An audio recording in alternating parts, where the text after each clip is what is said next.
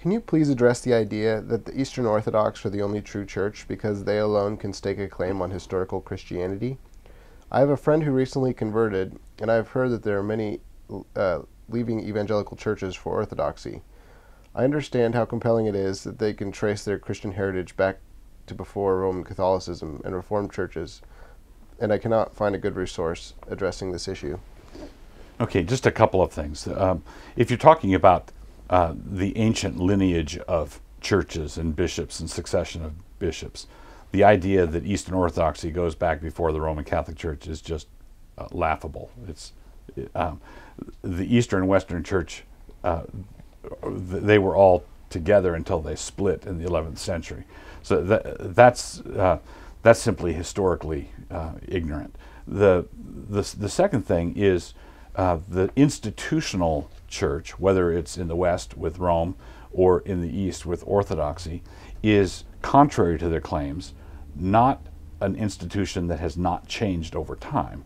Um, if you read the one of the things you read uh, uh, in the early fathers, the Epiphanius, who was the bishop of Salamis, wrote a letter to Jerome describing how he was traveling and he, he came into a church and found an image, I think it was an image of Christ hanging up, and he tore it down, and he, the bishop of Salamis tore it down because he said it's, uh, that, that doesn't belong in a Christian uh, sanctuary. That doesn't belong in a Christian setting.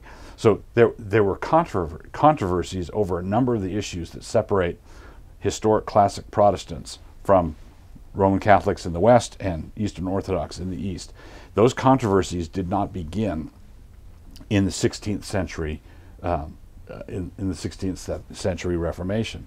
Um, I uh, one time a good illustration of this. I was reading a, I was reading a copy of Augustine's City of God. And I got to the part in the City of God where Augustine was making fun of uh, pagan priests with their funny, uh, pointy, mitered hats, and so he so he was making fun of the of the pagan priests with their their mitered hats. And I thought, huh? And I looked at the cover of the book I was reading, and sure enough, there's Augustine uh, in a in a mitered hat.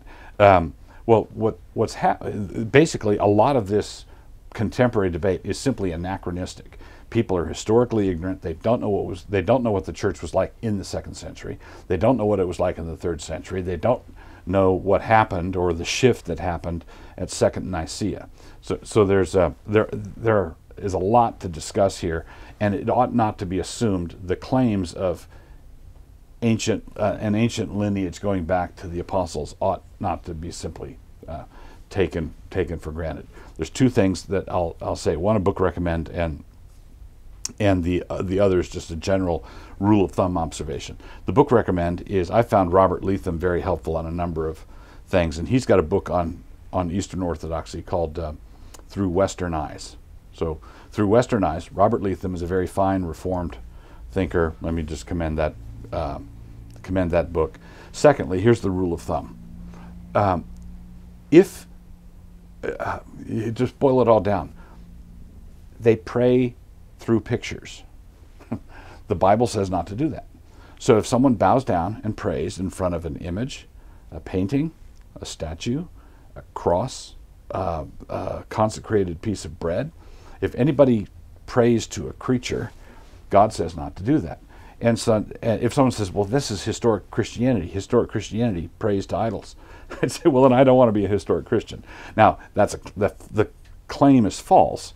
Historic Christianity has uh, uh, consistently, historic faithful Christianity has um, consistently stood against that uh, kind of thing, and and faithfully. And the Reformation was a glorious cleansing of the church.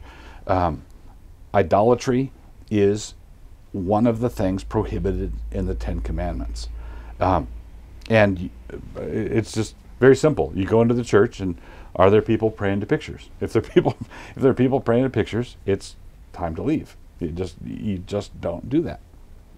Um, uh, I don't want the Lord to come again, um, and and have me bow, kneeling or bowing in front of uh, something that a man painted or carved or fashioned or wove or anything, anything like that. And somebody's going to say, "Well, you're just being simplistic." I'd say, "Fine. I kiss my wife. I don't kiss other women.